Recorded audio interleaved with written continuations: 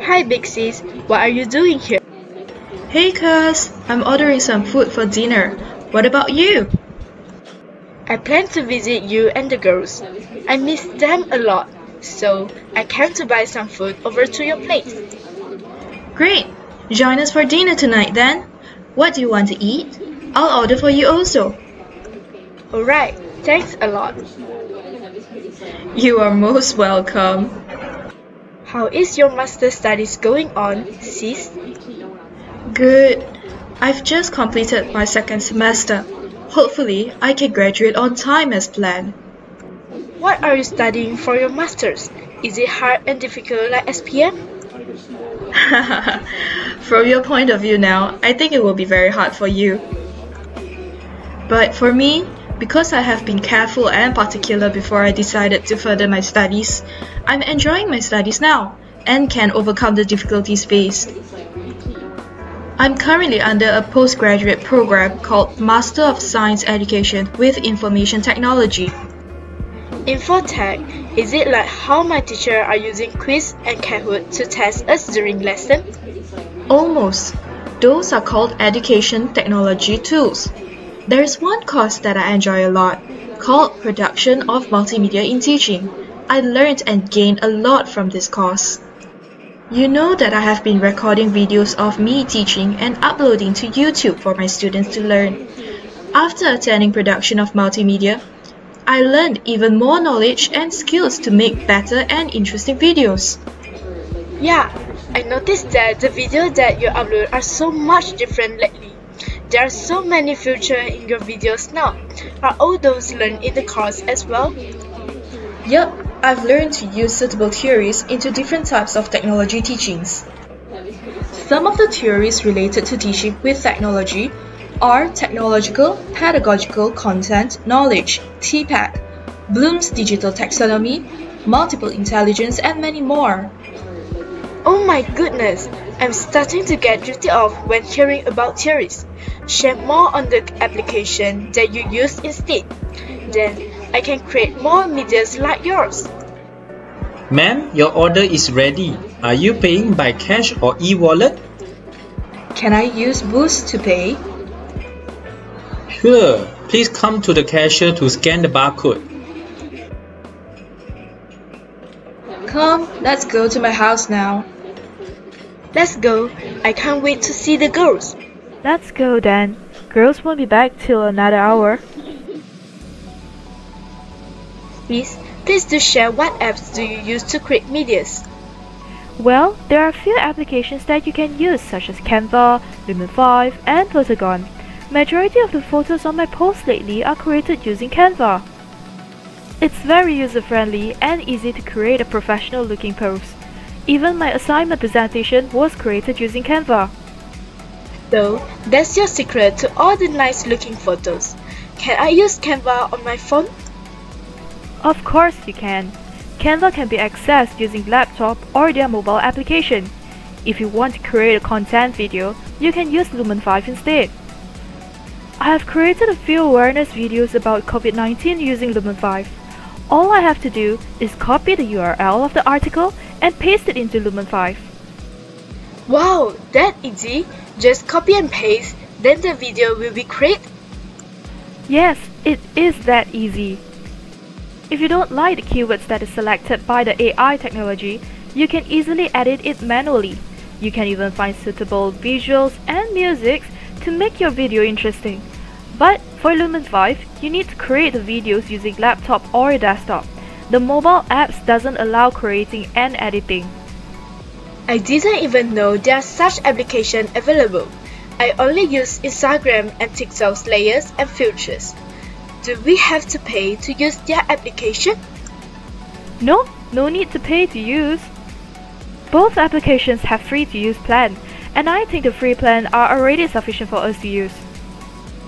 I've been using it for months, and I haven't used any paid items. Good news for you, you can choose to create Instagram and TikTok's posts using Canva and Lumen 5. I'm so excited to start using the apps already. By the way, what else did you learn in the course? I also learned how to create animations using Plotagon and also make more attractive videos through OBS. These two applications need to use the laptop to create videos. You can borrow mine if you are interested to try it. We have reached the floor. Let's continue chatting in the house. Maybe next time only I try those applications. Sis, I also noticed that in every photo or video, there are similar logos inside. It has your name Eunice Leong on it. What's that about? Oh that, that is my brand logo and also the name to my FB page, YouTube channel and also Instagram account. My lecturer taught us to have our digital identity or our own branding. It will make viewers recognize my work and also easy for them to find my work on the internet. Why do we need to have our digital identities? Can't we just post things as it is? Well, when we create our digital identity or our own brand, it will create trust among our viewers. With trust, we will have loyal followers if our creation suits their interests. Branding also gives value to our work and help gain recognition. Imagine this. You create an original video and the video goes viral. But you did not include your logo or brand in it. Anyone can claim the viral video as theirs, I'm sure you don't want that to happen, right? Of course not. I put a lot of effort in each of the videos I produce. If the video becomes viral, of course, I have the right to claim it. But if you don't put your personal branding, then you cannot claim it as yours. Huh? Then what should I do? Can you guide me? First, create your own logo using Canva. I did mine there too.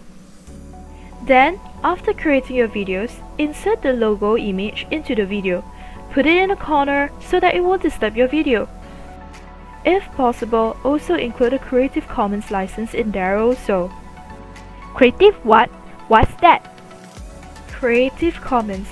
Creators or other rightful owners who wants to make their video available to the public for a limited kind of users while preserving their copyrights.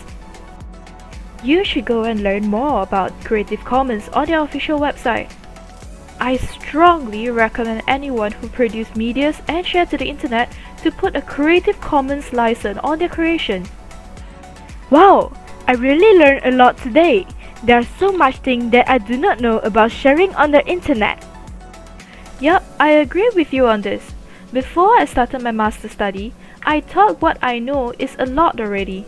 Little do I know, after just two semesters into my studies, I found out that there are a lot more out there to be learned.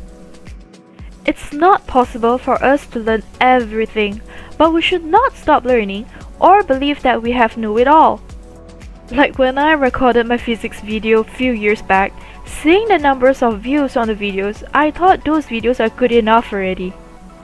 But now, I learned even more skills to make a video lessons even more interesting for students to watch. I agree on this. The video about Angry Bird was quite interesting. Sis, are you free now? Can you teach me how to use Canva? I want to start creating my own logo and post. Sure, of course I'm free now. I wouldn't be chatting with you if I'm busy, right? True also. So what should I do?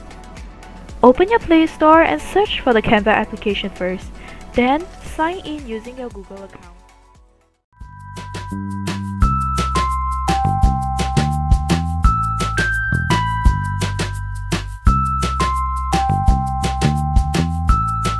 everyone, I hope you have liked what I have done with this animation video.